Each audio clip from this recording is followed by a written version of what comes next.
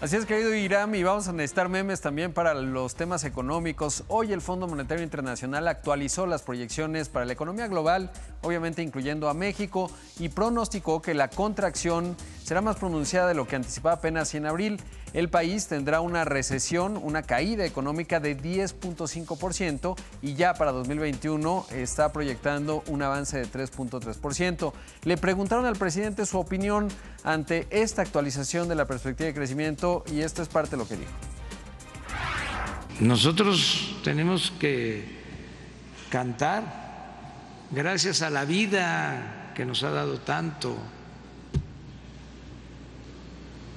Nosotros tenemos que eh, ver con optimismo el futuro hacer memes y cantar. Además del canto, también dijo que confía en que la recuperación será en forma de V y no de L, como dicen sus adversarios. Anunció que el primero de julio se adelantarán cuatro meses de las pensiones para los adultos mayores. Mientras tanto, el alcalde de Tuxpan, en Veracruz, Juan Antonio Aguilar Mancha, dijo que Iberdrola estaría cancelando la construcción de una central eléctrica de ciclo combinado en la región debido a que la Comisión Federal de Electricidad no le da el suministro de gas que le permitiría que funcione.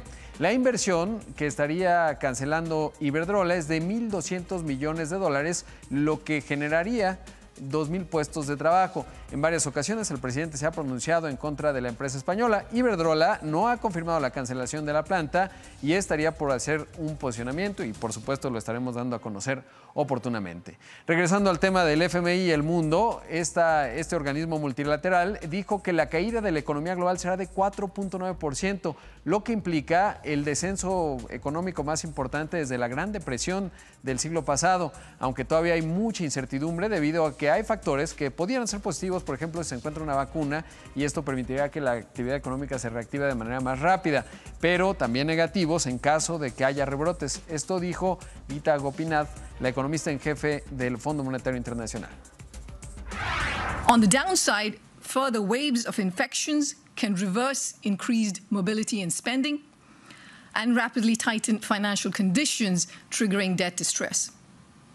Geopolitical tensions and trade tensions could da damage fragile global relations at a time when trade is projected to collapse by 12 percent. En otros temas económicos, hoy se dio a conocer que la inflación de la primera quincena de junio tuvo una variación de 0.32% y se ubicó a tasa anual en 3.17%, lo cual marca un ascenso con respecto a mayo, cuando se encontraba en 2.84%. El avance se da por el inicio de la reactivación económica, lo que empuja la demanda de algunos servicios y productos, por ejemplo, los boletos de avión, pues ya empiezan a figurar nuevamente. Así que pues nos queda hacer muchos memes también de la economía, estimado Irán. Exactamente, mi querido Ro, lo dijiste muy bien. Ojalá todo esto fuera un mal meme, pero pues no, lamentablemente no es así. Gracias, mi querido. Gracias. Gracias, cuídate, excelente tarde.